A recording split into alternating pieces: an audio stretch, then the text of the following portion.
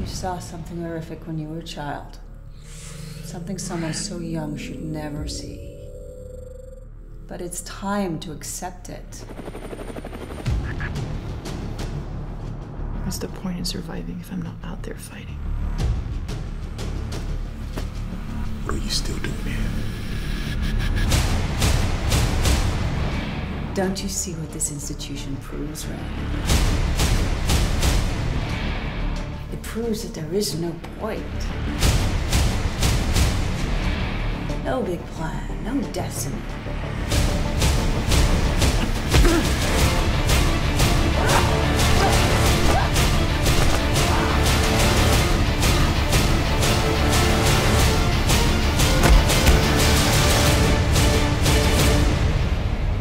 Security Protocol 18 is now in effect.